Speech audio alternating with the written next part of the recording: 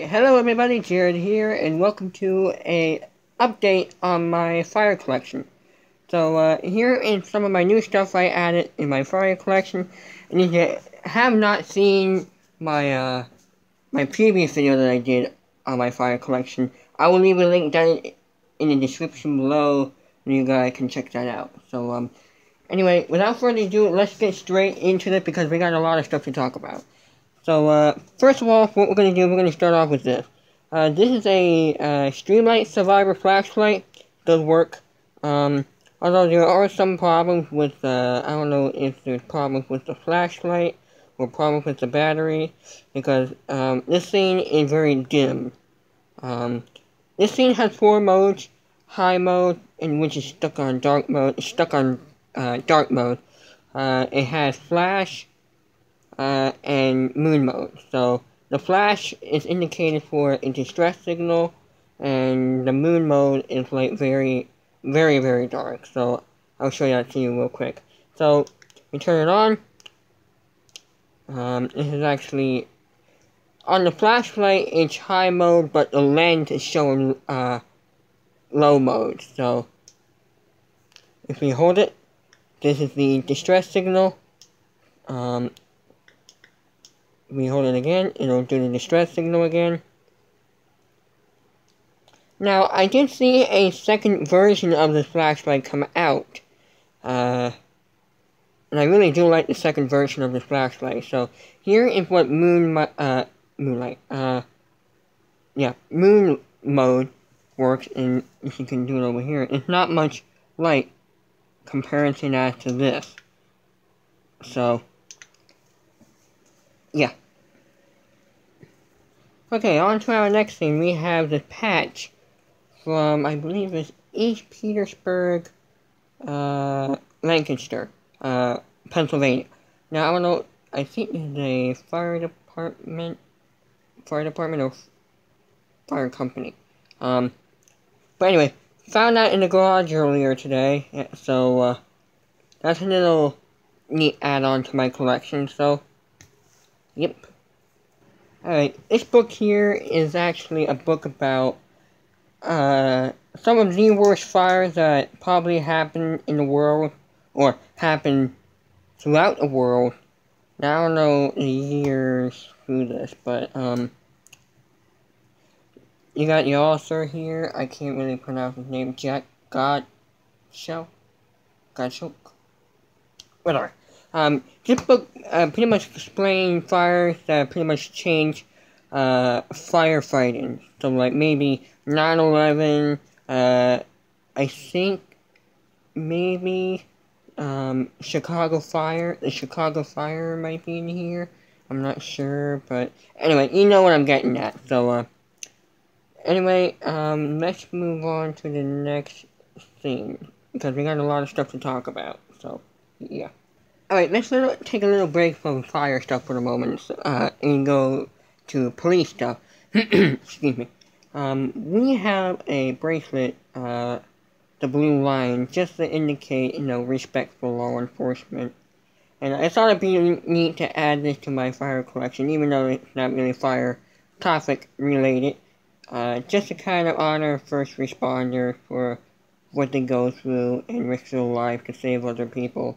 So, uh, I'm gonna give a big thanks to Al, uh, to, uh, yeah, I'm, blah, blah, blah.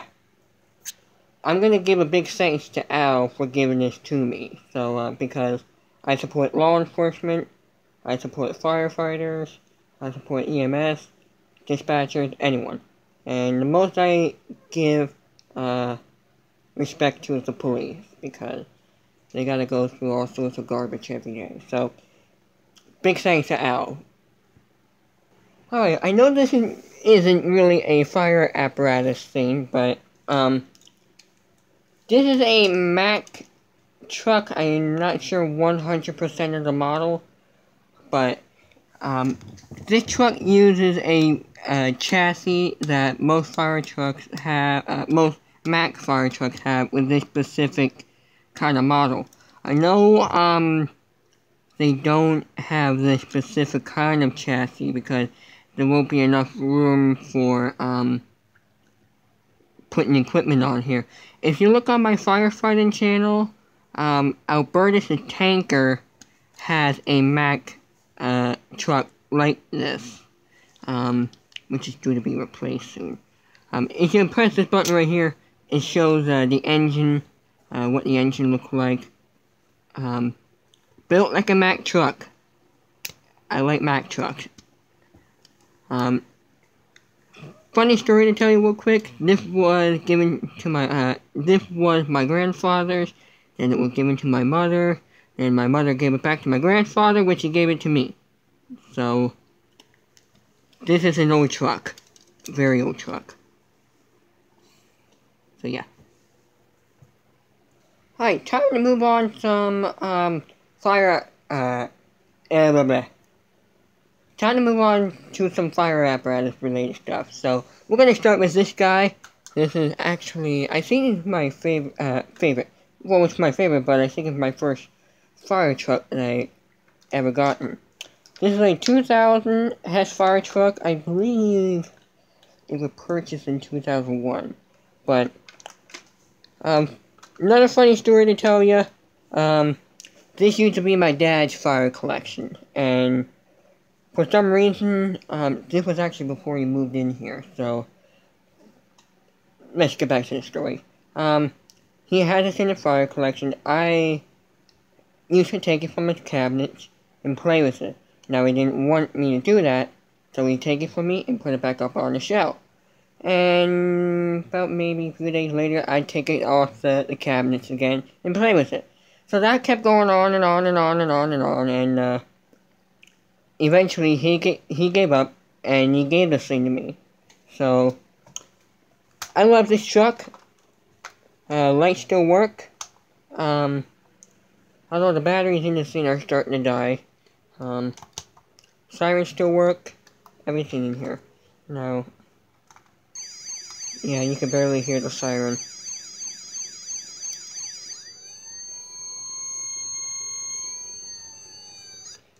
And I don't know what the heck this thing is. Maybe a backup alarm or something? But this kind of specific truck is a tiller, which means you got a driver here and a driver back there. So, I don't know why these have double wheels, but okay. Um, so technically, um, places you'll see this truck in, maybe, maybe Boston, Philadelphia, Chicago, um, New York, and maybe other places that I have missed. But anyway, this this is a good truck. Uh, ladder still works. Very tall ladder. And actually, if you take this off, let me pause the video so I don't use up all my storage. You can basically get uh, both of the ladders and snap them together because they got these weird hinges or hooks on them, so. Yep. So, and I forgot to bring out the outriggers. That's no bueno. But yeah, still love this truck. Will be my favorite, always my favorite. So, let me reset this truck, and we'll move on to the next object, or apparatus. Okay, now that that truck is re uh, back to where it's supposed to be, let's check out this one. Um, 2015. Very dusty. Um, lights still work.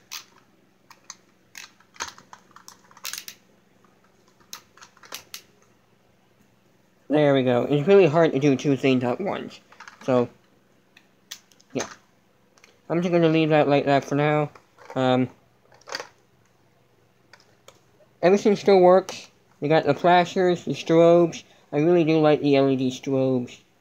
Uh, the red and white, uh, the red and blue strobes.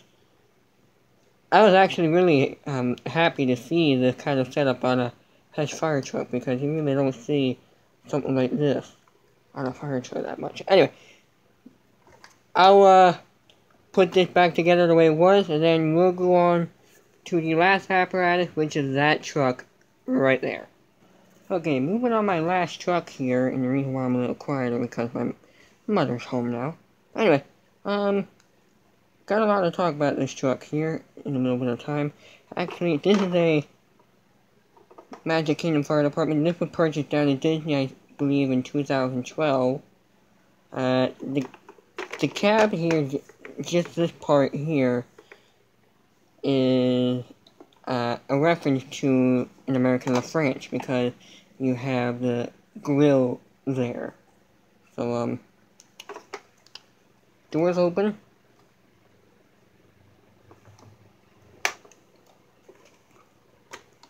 There we go. Uh, ladder works. Um, when you pull up on it, it's a little jam. But if you um, pull it at a right angle, it'll work. So,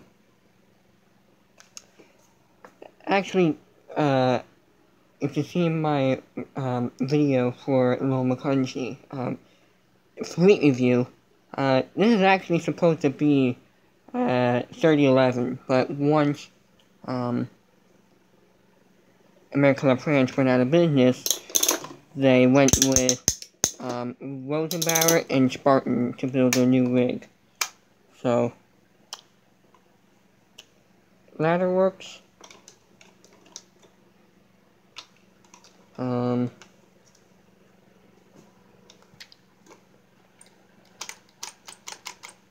oh, and I took the battery out. but, yeah, this is a an American La France. Um,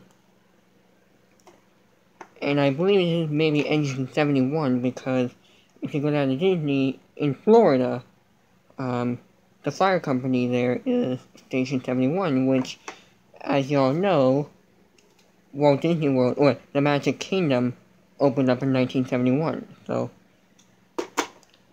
so guys, I think that's gonna be my uh, updated fire collection. I hope you all enjoy. If you do have a question for any of the stuff that I showed you at all for the video, you're more than welcome to ask. Otherwise, I'll talk to you all in the next one. Take care.